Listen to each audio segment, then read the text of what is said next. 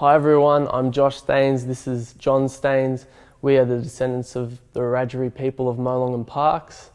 Um, Dad, why don't you tell them a little bit about yourself? I was born and raised in Glebe and come from the Housing Commission area. I played a lot of football as a young man, played for Balmain Tigers, third grade, second grade, and finished off my career playing in first grade. Your family history was a big standout. Do you want to tell us a little bit about that? Well, my family history is um, mainly of alcohol abuse and um, smoking abuse. I've lost quite a few members through alcohol and smoking, uh, lung cancer, strokes, heart attack. Diabetes was another thing my, one of my grandfathers had and he lost both his legs. His wife died of a heart attack at the age of 50. My father's mother also died of a heart attack at age 67. My father's father committed suicide through alcohol abuse.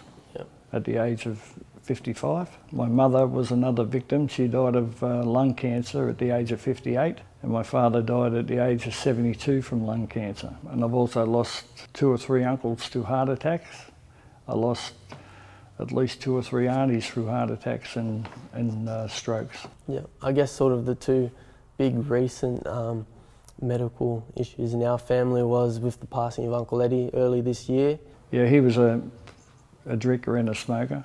Um, when he got to age of 59, the age I am now, he went and seen a doctor about some um, pains in his chest. He used to smoke two packets of cigarettes a day and mostly drank about 12 schooners of beer a day. And the doctor said to him, if uh, we don't give you a quadruple bypass, you won't see 60. So he, he had a quadruple bypass at the age of 60, never smoked another cigarette from that day, and never had another drink from that day, and lived to the age of 80 where he had a a massive heart attack and he, he died. With Auntie Vicky, um, younger sister? Yeah, my sister's 11 years younger than me. She had a um, cancer in the jaw.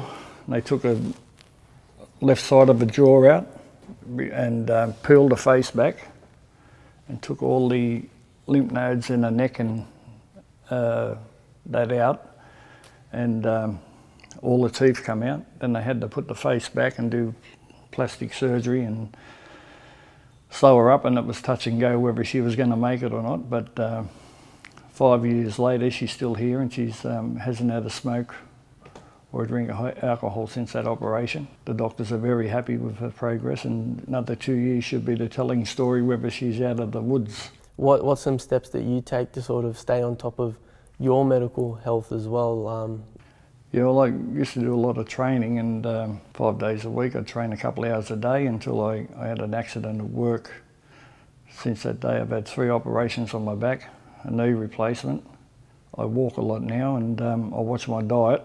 Muesli and a small um, fruit salad in the morning, ham and salad sandwich for lunch, and steak, mostly steaks or chops, grilled steaks or chops, and um, vegetables for um, for dinner and try and stay off the uh, the sweets and. Uh, you see Dr. Pockley, our GP. I see him every month.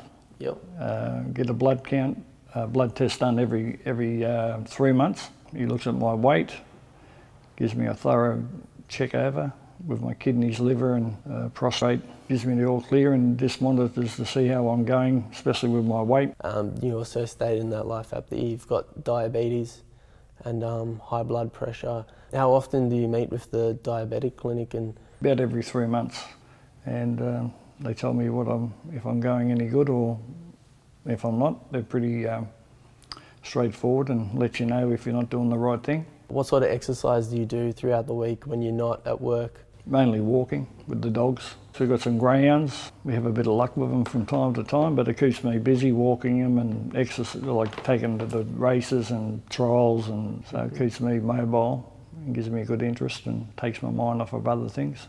As we went through the Life app, they um, gave us sort of two pledges or two suggestions that you could do to sort of improve your, your health and lifestyle. Um, do you want to talk about what they were?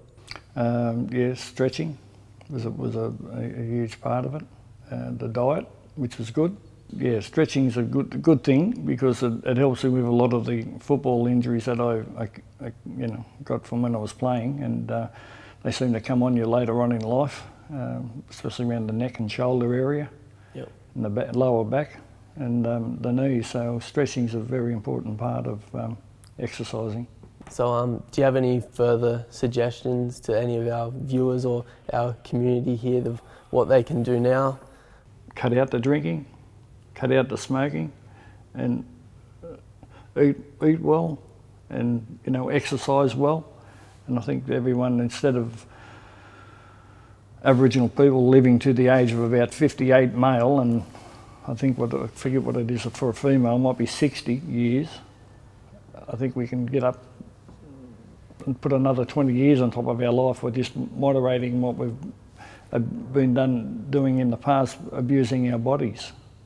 So, who's your support network? Well, my doctor, my physiotherapist, dietitian, also the diabetic clinic, my family. Also, your mother's been a great part of it uh, with the cooking, and your sister. Another thing that you also often do is go and have um, go and have breakfasts with um, Uncle Bobby. Yeah, I look And, forward uh, to having breakfast with a couple of friends during the week down at the uh, cafe at Redfern Park there, and um, which serve a lot of healthy meals, no junk. If you start your day off with having a healthy meal, it helps you continue on that way through the day. You know, the healthy healthy diet is a is a big plus in my life. Thanks for coming in and yarning with us and giving us all the info about um, our family. So, thanks for coming in.